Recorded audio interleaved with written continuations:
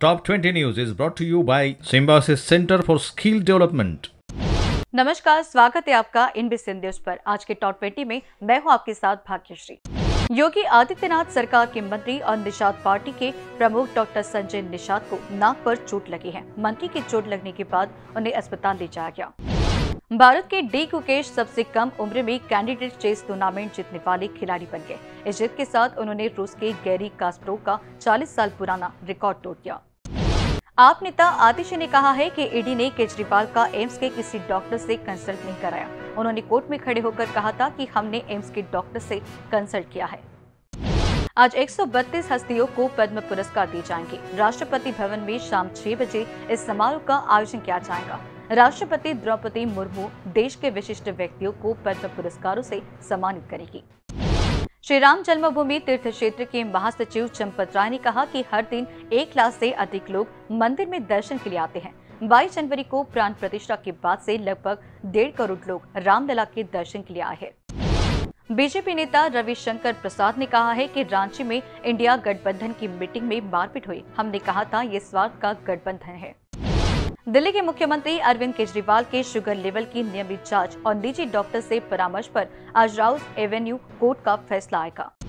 रक्षा मंत्री राजनाथ सिंह आज सियाचिन के दौरे पर जाएँगे, जहाँ वो जवानों से मुलाकात करेंगे। महाराष्ट्र के पुणे ज़िले में एक निजी कोचिंग संस्थान के 50 से अधिक छात्रों को फ़ूड पॉइजनिंग से पीड़ित होने के बाद अस्पताल में भर्ती कराया गया है और सभी की हालत स्थिर बताई जा रही है। महाराष्ट्र में एनसीपी अध्यक्ष और डिप्टी सीएम अजीत पवार ने चाचा शरद पवार के खिलाफ बड़ा बयान दिया है। उन्होंने खुलासा करते हुए कहा कि शरद पवार 2014, 2017 और 2019 में कई बार बीजेपी के साथ सरकार बनाने के लिए तैयार थे।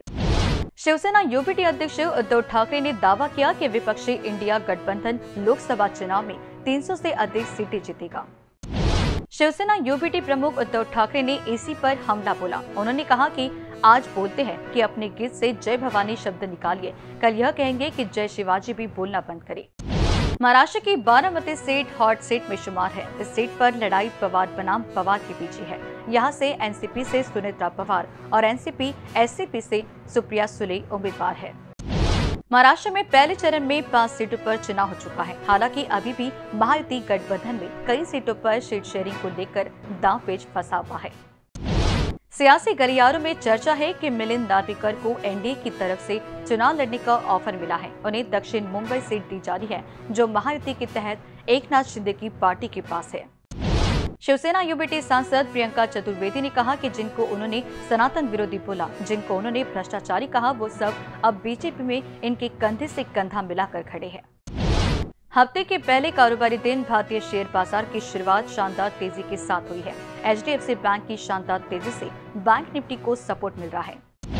एप्पल भारत में अपना प्रोडक्शन लगभग पाँच गुना करना चाहती है। इतने बड़े पैमाने पर प्रोडक्शन करने के लिए कंपनी अपने वेंडर्स और सप्लायर्स के ज़रिए भारत में यह नौकरियाँ देगी।